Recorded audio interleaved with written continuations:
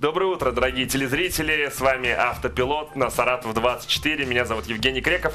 И, а, конечно же, хотелось бы представить а, интереснейшего гостя, который посетил нас в столь ранний час. И зовут его Алексей Викторович Иванов. Это кандидат геолога, геолога минералогических наук, доцент, заведующий кафедрой геоэкологии, инженерной геологии. Рад приветствовать вас в нашей студии. Здравствуйте. Алексей Викторович, да, доброе утро. А, вот смотрите, у нас буквально 11 декабря будет отмечаться Международный день гор. Вот вы, как никто другой, связан тем или иным образом а, с горами, с недрами этих гор. Расскажите изначально о празднике. Какова была идея и почему, как его сейчас отмечают, для кого он создан? Для, только для альпинистов и, я не знаю, скалолазов или Или у нас более широкие варианты? Насколько мне известно, э, этот э, день, Международный день гор, появился с 2003 года по инициативе Организации Объединенных Наций, был э, объявлен международным. И смысл его заключался не в том, чтобы покорять горные вершины, а прежде всего в том, чтобы привлечь внимание к э, горам в смысле как к экосистемам, как угу. к уникальным объектам э, такого глобально-экологического плана в формате вот нашей планеты, горным районам. Ведь э, горы это не просто возвышенность над уровнем моря в прямом смысле этих слов, это прежде всего и уникальные э, экологические угу, системы, да, да, это уникальные э, геологические, геоморфологические системы, это уникальные э, этносы, которые расположены в горах и многое-многое другое. И вот смысл э, этого Дня гор, он, э, как мне кажется, э, по интерпретации тех, кто этот праздник предлагал, заключается в том, чтобы обеспечивать устойчивое развитие горных районов устойчивое развитие вот горных стран, территорий, которые занимают ну, что-то около четверти поверхности земного шара, и в них сосредоточено, ну, да. как известно, порядка ну, 10% населения Земли. Ну вот, насколько я знаю, наши, а, в нашей стране чуть ли не половина территории занимают именно горы. А, вот и наш город, ну, Саратов, он изначально, его название пошло от а, Саратау, да, то есть а, желтая гора. Одна из версий. Где, одна, одна из версий. версий, да. Где находится эта желтая гора и вообще как действительно как ли это Саратау? Оттуда корни? Ну, на самом деле все не так просто, как кажется на первый взгляд. Если говорить о том, где находится э, Скаловая гора, то мы uh в данный момент находимся на ней. uh Находится она в окрестностях Саратова, как известно. Но здесь э, хитрый вопрос, а что, собственно, горой называть? Что считать Вы вообще горами? Ну, если эм, брать сам термин, то э, вообще какая наука занимается горами изначально? Это наука геоморфологии, наука о рельефе. Угу. Наука, которая развивается на стыке двух больших крупных наук о Земле – геологии и географии. То есть нам нужно знать и форму гор, грубо говоря, угу. и нам нужно знать, где они расположены, географические аспекты, и нам нужно знать, из чего они сложены, какими горными породами, какими слоями. Это уже вопрос геологии. Угу. Но э, существует определенная классификация всех э, тех форм рельефа, которые возвышаются над уровнем моря в геоморфологии. И согласно этой классификации горами можно называть только те элементы, которые имеют превышение не менее 500 метров. У нас э, в У нас э, есть такие? таких нет. То есть, строго говоря, праздник гор к нам отношения не имеет. Но у нас есть возвышенности, да? Да, совершенно верно. У нас есть возвышенности, у нас есть холмы, у нас угу. есть различные останцы и так далее, и так далее. Они все максимум в районе 300 метров угу. имеют высоту, и поэтому забраться на них, покорить их, в общем-то, особого труда не представляет, как, например, Даже без подготовки горы. можно Конечно. их покорить. Вот, это очень э, симпатичные объекты, и как-то так повелось, э, что их называют горами, причем не только отдельные объекты, как Соколовая гора или Лысая, например, гора, но и как э, системы, Змеевые горы, Вольские горы, Хвалынские горы. Э, как правило, это уникальные природные объекты. Э, некоторые из них э, оформлены как особо охраняемые природные территории, скажем, национальный парк Хвалынский, как известно, ну располагается вот именно в такой, ну, скажем, горной стране для нашей области. И посмотреть э, все эти объекты можно очень э, комплексно, и они будут очень симпатично смотреться, если, например, проплыть по Волге нашу область с севера на юг, что вот в этом году мы, например, пытались сделать на очередной экспедиции Гагаринский плавучий университет, который организовывали. Расскажите об этой экспедиции. Вот, да, расскажите подробно, потому что мы знаем, что вы покоряете не в прямом смысле горы, а, как бы возвышенности, да, делая восхождение, но и достаете что-то из недр, очень интересное, полезное для познавания. Да, ну вот экспедиция Гагаринский плавучий университет, о которой мы заговорили, она проводится уже второй год.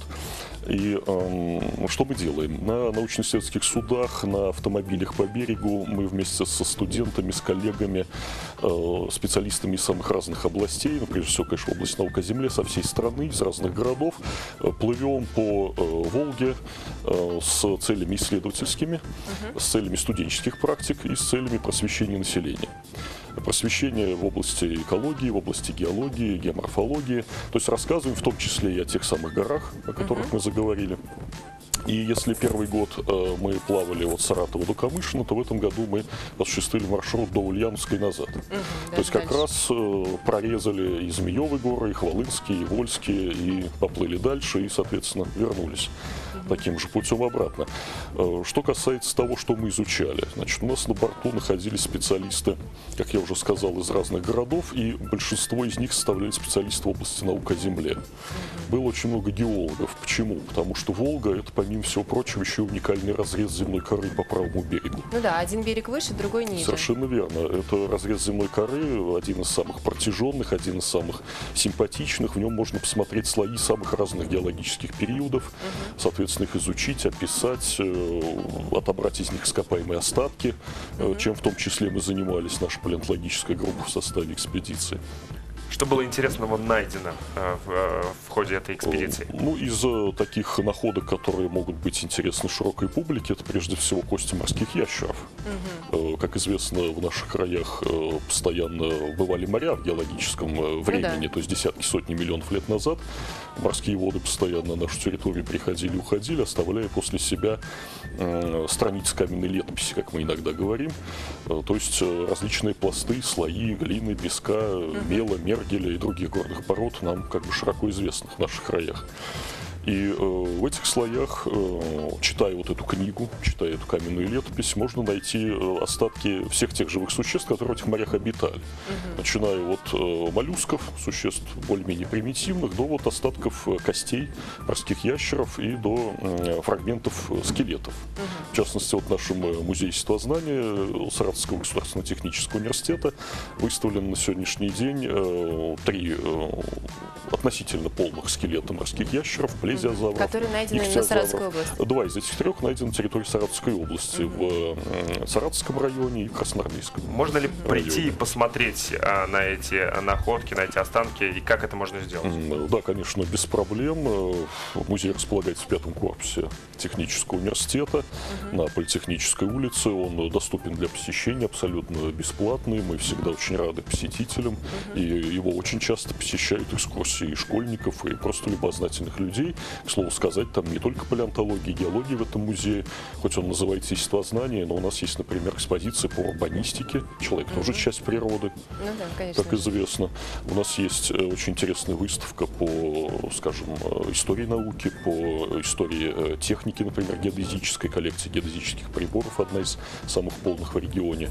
Так что, пожалуйста, мы гостям всегда только рады. Угу. Ну, а вот скажите, а как-нибудь приобщиться вот к вашей науке, например, человек, который совершенно не связан, да, то есть, например, он обучался в ну, совершенно другом факультете, да, но он хочет просто там, я не знаю, заняться какими-то раскопками, что-то найти, что-то узнать. Как это вот обычный человек может? Э, это, в общем-то, тоже не проблема. Стоит с нами связаться, и я думаю, что каждый любознательный человек найдет свою нишу угу. в формате хотя бы вот нашей экспедиции, которую мы планируем в том числе и на ну, следующий то есть присоединиться год. просто к экспедиции э, можно, да, да, безусловно. Э, я должен сказать, что вот в наших экспедициях постоянно принимает участие, например, представитель научной журналистики. Угу. Скажем, коллеги ваши с открытого канала «Саратов», от, от Евгения Евгеньевича Захарова постоянно плавает с нами целая группа, бригада, которые угу. ведут постоянно репортажи, выдают в эфир. Угу. И как бы весь месяц они с нами. Целиком Алексей Викторович, а вот э, вопрос такой существует. Вы сказали, упомянули тот момент, что Волга является уникальным разрезом, э, геологическим разрезом. И возникает вопрос, почему один берег э, выше, а второй ниже? Угу. Вот это. Э, да, так называемая асимметрия речного речных долин. Э, я начну немножко с исторического тогда экскурса. В свое время в наших краях работал такой великий ученый Карл Максимович Бер, угу. великий энциклопедист, который э, прославился э, в очень разных науках, в биологии, в геологии, в географии, много еще, ну, так сказать, в каких научных направлениях. В свое время был даже такой казусный случай, говорят, пишут, что на какой-то конференции один коллега другому задал вопрос, знакомы ли вы с Бэром, а тот в ответ спрашивает, а с каким из них? То есть считал, что это много людей, на самом деле это был один вот такой большой человек, который сочетал да, мыслитель. И э, он когда-то, путешествуя в том числе в наших краях, проплывая от Астрахани до э, Камышина и обратно, э, не просто обратил внимание вот на эту симметрию речных долин, не просто зафиксировал, что один берег выше, один ниже, а постарался дать этому какое-то логическое объяснение. В чем здесь э, смысл? Ну, давайте представим себе э, шар, которому э, меридионально течет поток от полюса к экватору, и шар при этом вращается. Ну, то есть вот модель Земли, да, такая простейшая геодинамическая. Э, что будет возникать? Будет возникать некая сила, которая будет стягивать поток соответственно, вот в нашем полушарии в северном к западному направлению. Угу. Это так называемая сила Кориолиса. Вот сила Кориолиса вместе с силой трения, они, собственно, и дают вот тот самый эффект, что один берег подрезается, а второй выполаживается. А, а учитывая, что у нас еще Приволжская возвышенность, угу. на правом берегу, то понятно, что вот эта подрезка, она становится очень Более такой явный. сильной, выраженной. Угу. И э, вот это обнажение правого берега вертикальное, оно становится очень заметным. Именно в этом обнажении можно посмотреть как раз те слои земной коры, которые вот и привлекают геологов, которые приезжают специально посмотреть этот разрез. Вот в этом году у нас были коллеги из Владивостока, из Хабаровска, геологи, угу. с которыми мы вместе изучали разрезы вот наши уникальные. Ну, то есть вот как раз получается, что один берег выше, другой ниже, например, очень ярко можно его увидеть на утесе Степан правильно? Да. А вот э, расскажите нашим зрителям, где еще есть вот такие уникальные места и куда можно отправиться и полюбоваться красотами Может быть, какие-то ваши любимые места, и где может человек просто прийти и найти э, какого-нибудь моллюска исторического? Э, ну, таких мест на самом деле масса. Практически по всему правому берегу можно найти и ископаемые остатки, и полюбоваться красотами. Я, честно mm-hmm. говоря, не знаю у нас места, где нельзя было бы красотами полюбоваться. И вот в этом году, как раз-таки проплывая практически всю область, мы в этом лишний раз убедились. Э, ну, безусловно, утес Степан Разин, да, одно из таких брендовых мест Саратовской области, что он из себя представляет. Это, в общем-то, э, небольшая возвышенность в форме останца.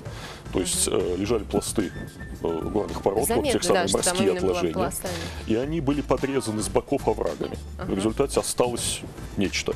Uh-huh. Вот этот э, блок и является утесом Степана Разина, подрезанная врагами со всех сторон. Угу. То есть, по большому счету, этой горой, конечно, тоже никакой назвать нельзя, и даже возвышенностью, строго говоря, называть не стоит.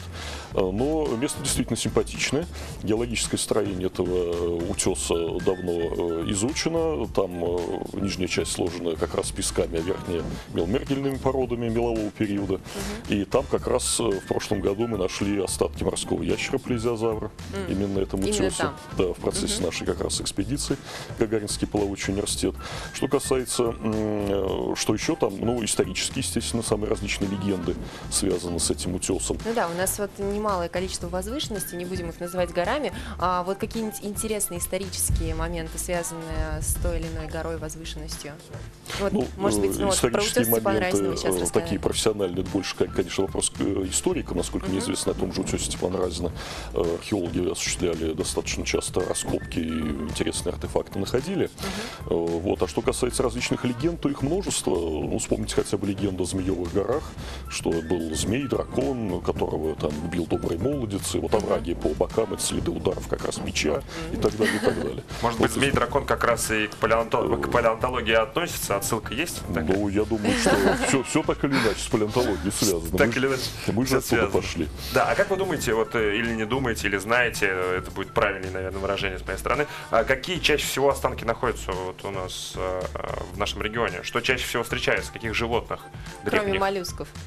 И ящеров. У нас встречаются, в общем, представители всех групп организмов, которые обитают в море и э, сегодня, ну, за исключением вымерших вот, э, морских ящеров.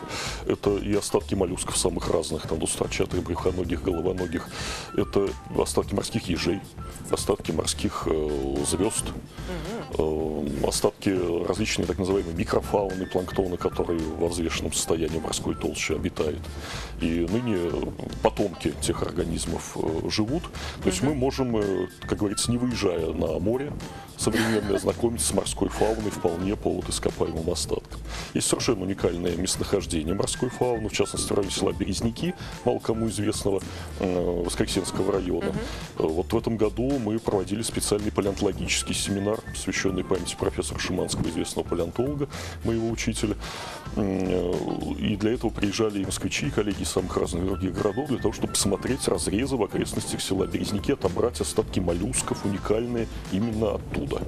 И местные жители нам в этом активно помогали, и, так сказать, в порядке просвещения такого палеонтологического мы с ними очень широко взаимодействовали. Мгм, Это очень интересно. Это Алексей вопрос о том, как можно принять участие в нашей- Да, экспедиции, поняла. элементарно. Алексей Викторович, очень а, познавательный, интересный получился у нас с вами разговор. К сожалению, наше время подошло к концу. Было приятно вас видеть, друзья. У нас в студии сегодня был гостем Алексей Викторович Иванов, кандидат геолога минера- минералогических наук, доцент, заведующий кафедрой геоэкологии и инженерной геологии. Спасибо вам огромное, что Спасибо вам, да. посвятили нас в такие тайны замечательные нашего края. Было очень приятно пообщаться. Спасибо большое. Ну а мы вернемся сразу после рекламной паузы.